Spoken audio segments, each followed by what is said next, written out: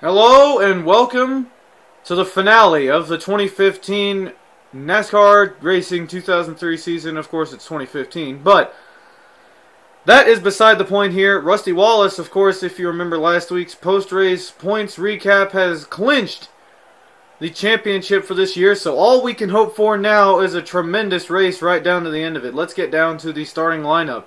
Dale Earnhardt and Bill Elliott will start on the front row. Row two will be Dale Jarrett and Dale Earnhardt Jr. So the Dales are all in the top five for the start of today's race.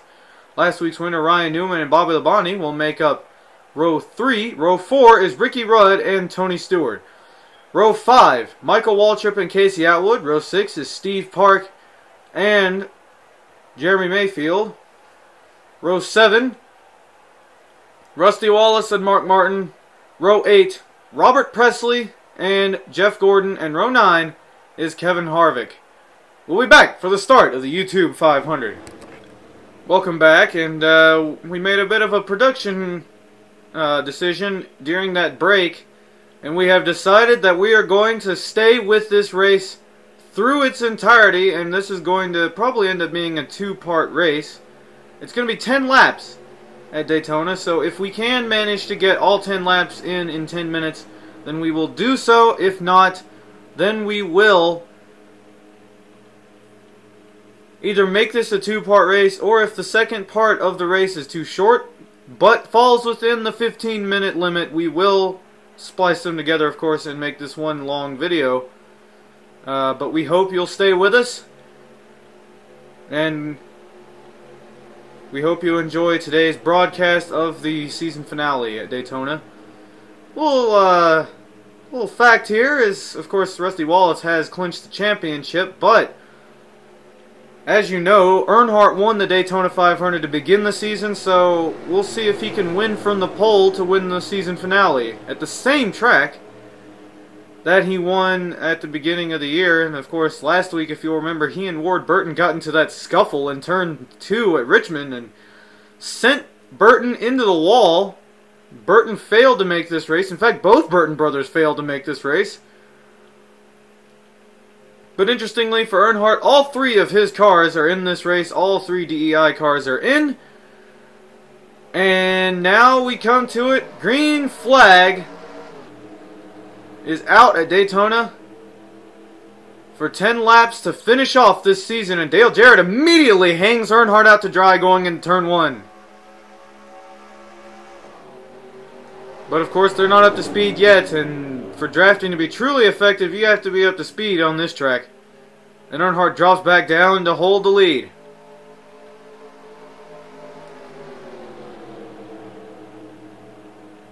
And coming out of turn one, and Jarrett pulls up behind Earnhardt and holds his line. Going into turn three now as uh, the field starts to get a little bit strung out. Still two by two. A few rows back behind them as now they come around and Earnhardt's going to lead the first lap. From the last lap of the Daytona 500 to the first lap of this one. And Dale Earnhardt leads a big group of Fords. There's three Fords, including both Yates cars. And there's Ryan Newman. That rookie has been in the top of every race he's been in all year. He's only finished outside of the top 10 twice. And here comes Ricky Rudd being pushed by Bill Elliott as we continue to watch Earnhardt lead the race.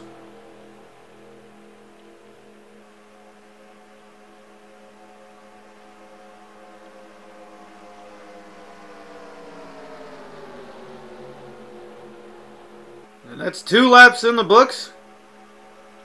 And 188 miles an hour as they head into turn one.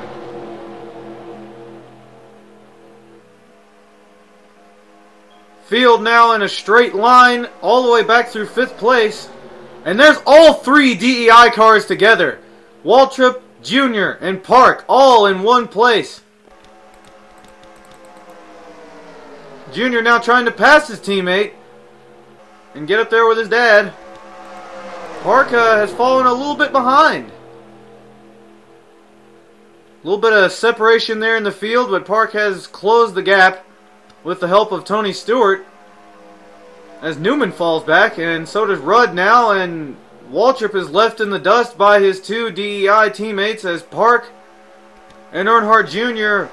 latch on to the back of Bill Elliott's car as this whole field gets pulled around this two and a half mile track by Dale Earnhardt himself.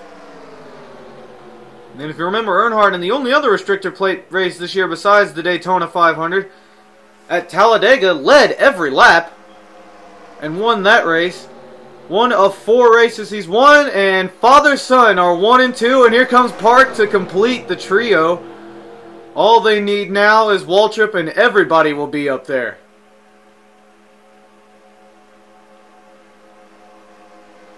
One, two, three. Boss and two of his employees. And Waltrip is trying desperately to get up there with his boss and his teammates. But Tony Stewart and Casey Atwood are in his way. Straight line all the way back through sixth or seventh place. Very little deviation. There's Rudd in uh, eighth spot. There's the other Joe Gibbs car, Bobby Labonte, and looked like Stewart was trying to make a move, and he does, forcing Park out of line. And there's one DEI car that goes down.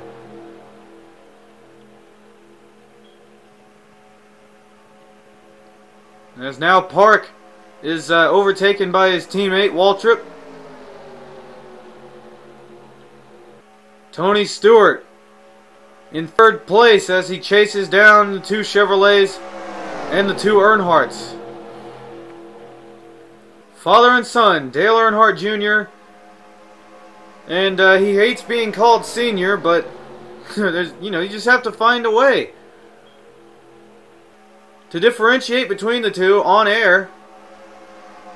And we found a way. We call one Big E and the other one Little E. And Big E is now currently leading Little E and the rest of the field. As Casey Atwood, another one of the strong rookie contenders this year, pulls in the third in his Dodge, leaving Stewart's Pontiac out to dry up top as Earnhardt leads another lap. Will Earnhardt Sr., or excuse me, Big E, lead every lap here like he did at Talladega? We'll, we'll find out. And this race is yet to have a lead change, unlike the Daytona 500, which had several. Seven laps. We're not working the seventh lap. Six laps complete. And Junior, no! Junior got forced up high and out of the draft, and now Earnhardt is all alone up there. Senior has been isolated now, and now all they need to do is get around that three. But can they work together enough to do it? Atwood and Stewart, the 19 and the 20, chase down that black number three.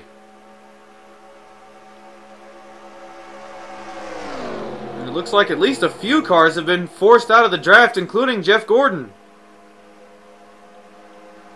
forced out of the lead draft entirely. There's Harvick, there's Gordon.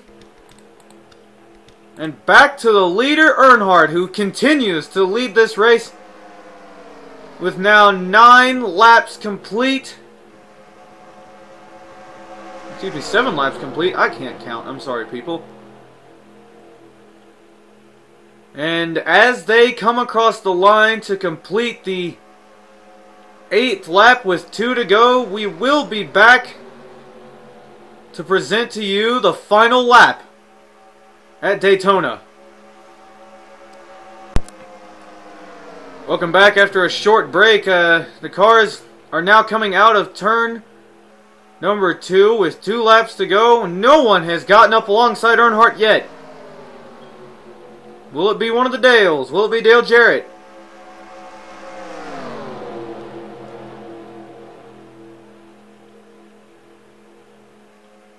I don't think he's going to have enough time. White flag coming out this time by.